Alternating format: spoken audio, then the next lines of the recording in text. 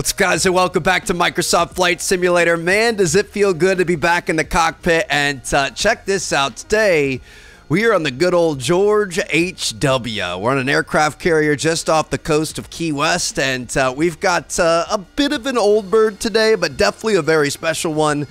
This is where vertical takeoffs and landings started. This is the Harrier. Technically, it's the Harrier AV8B2. Basically, the Harrier started as a concept in the UK and then it ended up being kind of a joint venture between the UK and the US.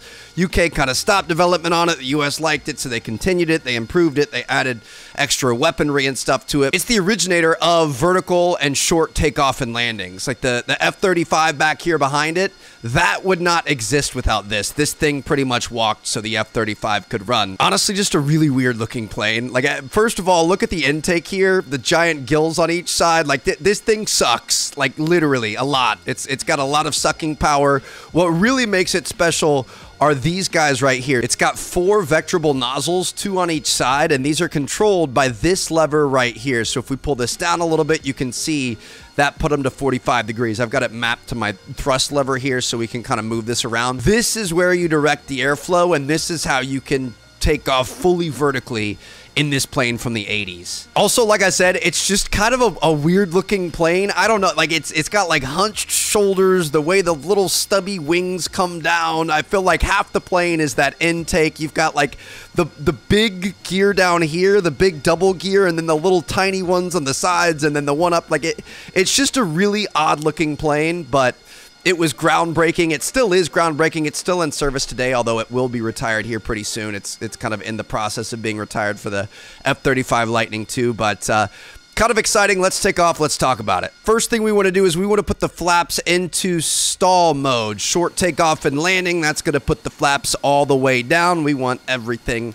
down towards the ground. We're going to make sure that our uh, vectorable nozzles are at 98 degrees, so those are going straight down as well. Technically, I think we probably could go to like 96. Sometimes it likes to go backwards. I mean, maybe we want we want we'll, we'll, try straight 90 we'll keep it right at 90 we also want to turn the water on master arm the V/STOL mode and now we are pretty much good to go so if we add a little bit of power she should start to lift off.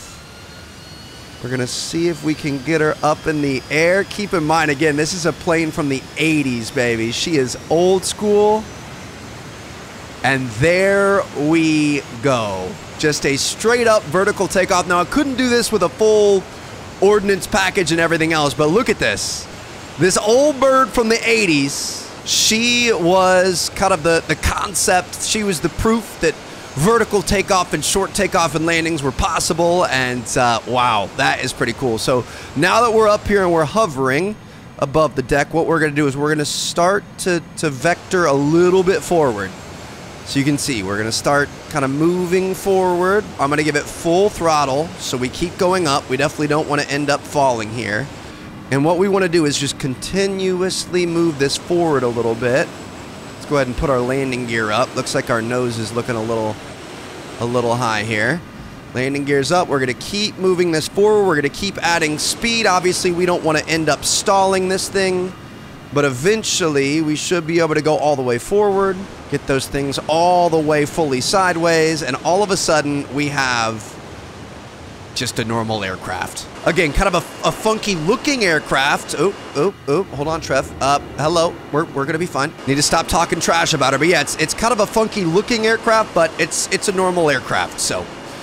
Let's resume normal aircraft activities. Let's go check out Key West. It's just so weird thinking that all the thrust is coming from these four nozzles on the side of the plane. Most planes, you're getting it from the very back. It's going to be coming from back here, but here, I mean, a lot of your thrust is coming from more forward than the middle of the plane. It's just kind of a weird thing. So yeah, like I said, this plane was introduced in the 80s. It's still in service today. It was used a lot by the USMC, the US Navy, the Royal Navy, Indian Navy, Spanish Navy, all kinds of stuff like that. You know, it kind of specialized in anything from any sort of aircraft carrier or, you know, anything that you know, front battle lines, short takeoffs and landings. Don't really have like a legitimate big airport like Key West down here below because you know that's what made it special. It could take off from pretty much anywhere. It could literally land on a cargo ship container. Welcome to Key West. Hopefully we're going to be back here sometime soon in GTA 6 whenever that ends up coming out. Probably not this year, maybe next year but uh, we can get a little lay of the land here. Now, the primary roles for this thing, it wasn't really designed for fighting. It was more for like close air support, light bombing, reconnaissance, kind of frontline support, stuff like that. But it actually did have some success in dogfighting, even though it wasn't meant to. And part of that reason is because of these things. Like I said, your thrust is coming from here, not from back here. So this thing could do aerial maneuvers and make tight turns that other jets couldn't. That could potentially, you know, put you in an advantageous position in your dogfights. Oh, wow, look at this. I've never flown through Key West. We've got a Carnival cruise ship here and kind of a smaller one there. I'm not sure which one that is, but this that's pretty cool. Come back around this way. We can kind of test that that tight turning rate. Wow, yeah, okay. Interesting. So yeah, it kind of pivoted more than other planes would because you've got a, a weird center of thrust going, I guess. I, I don't know. Again, this is just like a really weird, stubby little chode of an airplane. It's also notoriously known for being very hard to fly, and uh, it, I, it's very temperamental. I, I, don't, I don't know if I'm loving it thus, thus far. Uh, it's, it's upset at me about some. Okay, let's, let's just make sure we, we keep that intake sucking as much as it can, and let's, let's please try not to end up crashing this thing. Actually, you know what? I say we try to cover all of our bases here. I'm going to put our, our landing gear down. We're going to see if we can land like a normal airplane. We're going to take off again like a normal airplane, and then we're going to try to land on an aircraft carrier. I've got a really, really fun, really cool story. When I was doing research for this episode, I, I found a crazy YouTube video of... Uh, okay, yep, she's she's she's just really weird. It's definitely not my favorite plane to fly. This is not easy. We're we're gonna turn around. We're gonna go try to land at Key West. I'm gonna try to give us a little bit more time to line it up. We've got another runway over here on the other side of the water, so we're gonna go for that. The speed just seems weird with it. I, it like I said, it's notoriously one of the hardest jets to fly, and it, it's making total sense right now. But hopefully, we're gonna be able to get this thing down the first time, just like a, a normal aircraft. You can do it, girl. Come on. Here we go. Coming in. See, we're coming in hot. But I don't want to go too slow because I feel like then she wants to fall out of the sky. We're coming in super hot. We're also losing tons of altitude. Come on, baby. Come on, baby. Oh, God.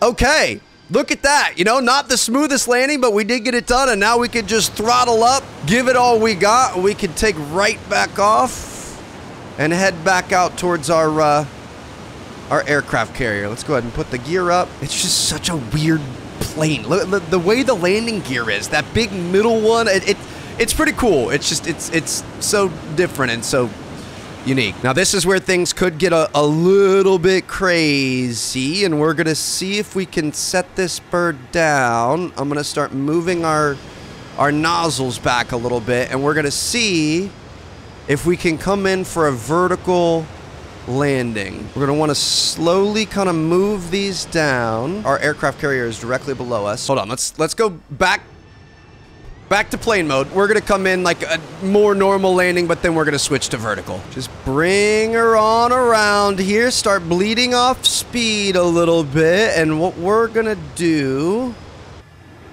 is hopefully be able Where's that aircraft carrier? There it is right there. Bring the speed down and then slowly we're going to start vectoring down. So we're going to keep some forward momentum here.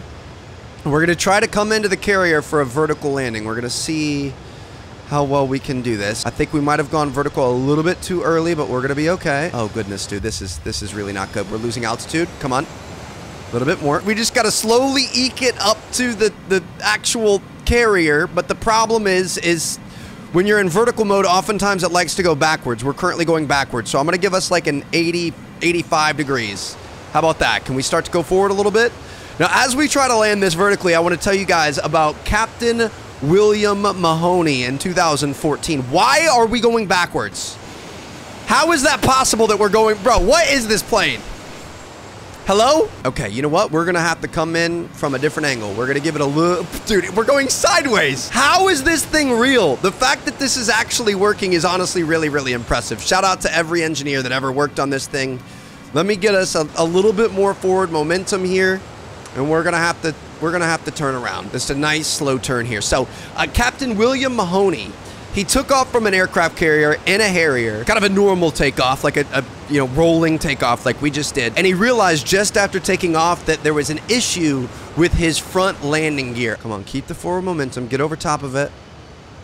All right, I'm gonna go full 90 here. We overshot it, but that's okay because this thing flies backwards. So if you fly past it, you can fly backwards and you'll be fine, right? I'm not sure if that's how it works, but we're, I, it, it really doesn't matter how good it looks. If we can get this thing back on the deck, that's what ultimately matters. So we're gonna go down with the landing gear. And we're gonna we're gonna come in from a side sneak attack angle here. William Mahoney could do a lot better than me. But anyway, yeah, so he, he took off, he realized there was something wrong with his front landing gear, came back, he hovered above the deck in front of the tower so they could take a look at it. They confirmed that it, it you know, it wasn't working, it wasn't coming back down, like that it was stuck in the up position. So he's like, okay, we've got two options here, and now we're going backwards again. Hold on, we need we need like 83 degrees. Come on. This would be absolutely terrifying, but we're going to be fine. Just inch forward. Inch for Oh, here we go. Okay. Now we got to be ready. Yeah, so he's like, we've, we've got two options. Either you can go hover over the water, eject. Obviously, the pilot's life comes first. Or the engineers on the ship ended up coming up with an idea on what they could do to land this thing. And the idea was a stool chained a stool down to the deck of the aircraft carrier. He flew in, you know, 40 feet, 30 feet, 20 feet. He hovered 20 feet above it. He couldn't see the stool, obviously. If you're inside the cockpit, you're not going to be able to see directly down. Eventually, they're like, we think you're good here. He's like, all right, screw it. Cut the power to the engines, dropped it down, did a vertical landing on the stool, landed the nose on the stool, saved the aircraft, saved himself. Honestly, just really, really impressive when you look at this performance here. It, it really kind of puts things into perspective. I, I'm literally just just floating. We're gonna go to 83. Ooh, that gave us a lot. That gave us a lot. That gave us a lot. We're almost above it. Oh, she's kind of wanting to come down here. Hold her steady, Trev. Hold her steady. Okay. I'm going to give us a little bit less so we can go forward just a little bit. Using the hotkey that I have on my, my throttle here makes it a lot easier. Switching back and forth in, inside to show you guys definitely didn't help. All right. Lower. I'm going to see. Let's see if we could actually. Where do we want to land it? Let's land it next to that black F-35. Gonna bring her around town. Bring her around. Oh my goodness, dude. This is so terrifying. Okay. Little bit more. Is that a bomb being loaded into the F-35? I feel like this is a bit of a danger close situation. Come on. We're good. Just a smidge more. What'd you do today? Well, I parallel parked the jet in Microsoft Flight Simulator, baby. That's what I'm talking about. Captain Trev is on the job. I didn't know if we were going to make it back, but we got her done. Okay, think think about that, but think about in real life, your life is at stake, everything, and you've got just kind of a tiny a tiny little thing, like something like this that you're to set your nose on and drop it down. Honestly, I just that was one of the coolest landings I had ever seen of any military jet or exercise or anything like that. So, yeah, there you guys have it. That, my friends, is the Harrier AV8B2 jump jet. Definitely a very cool vehicle. Honestly, just really, really insane to think about the, the engineering and the technology that went into this to make these little vectorable nozzles that you can control the plane and straight up take off vertically, land vertically, do anything you want. And this was kind of the first step that led to a lot cooler tech in the future. So, hope you guys enjoyed. Thank you guys so much for watching. It feels great to be back on Microsoft Flight Sim. We're definitely going to be doing some more videos. I've got some other jets and things I want to check out. So, if you guys want more, drop a like, and uh, I'll see you all there. Thanks for watching, guys. Peace out.